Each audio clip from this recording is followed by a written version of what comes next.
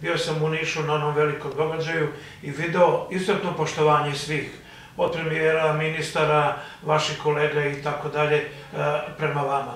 Koliko ste uspeli da uspostavite tokom ove godine saradnju sa ministarstvima da bi nama bilo dobro i da biste vi bili zadovoljni? Pa ja sam rekao, čini mi se jedan put javno, ja pola ove vlade lično poznajem, što je sigurno neka vrsta prednosti. E, moram da priznam da nismo ostvarili u ovoj godini e, neke zajedničke projekte, što je možda i razumljivo. Vlada se kasno formirala, imali su ljudi e, svoje probleme oko uhodavanja u ministarstvima. Počeli su već posle toga da prave planove za 2017. godinu, ali ja se nadam da ćemo u 2017. godini sigurno naći neke dodirne tačke sa određenim ministarstvima i raditi neke zajedničke projekte kao što smo radili u proteklom periodu. Imali ste političke mjere tokom ove godine da bi nesmetano radili. Imali ste ga zato što je e, e, vlast bila ubedljiva, sigurna, kvalitetna, da opozicija nije mogla da igra neku značajniju ulogu.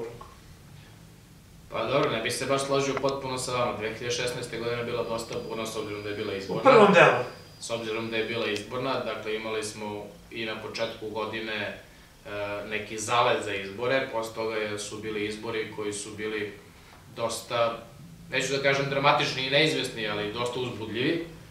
E, posle izbora smo imali postizborni period kada smo razmišljali i razgovarali kako da se formira lokalna vlast I ja mislim da smo tek sad pred kraj godine ušli e, na to mislim. mirni u fazu kada su odbornici Srpske napredne stranke na lokalu shvatili da nisu jaki onoliko koliko je jak Vučić, a Vučić je sigurno najjači lider u zemlji trenutno, nego su jaki onoliko koliko je njihov lokalni odbor jak.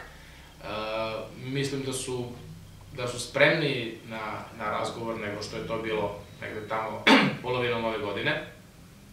I hvala, hvala im na podršci za budžet. Eh, lepo je bilo videti da i vlast i formalno opozicija glasaju za predlog budžeta koji je za 2017. godinu osnovni, osnovni, osnovna odluka na nivou Republike, to zakon, na nivou grada je to odluka, osnovna odluka koja će pratiti život čitavog grada i svih budžetskih korisnika u 2017. godini.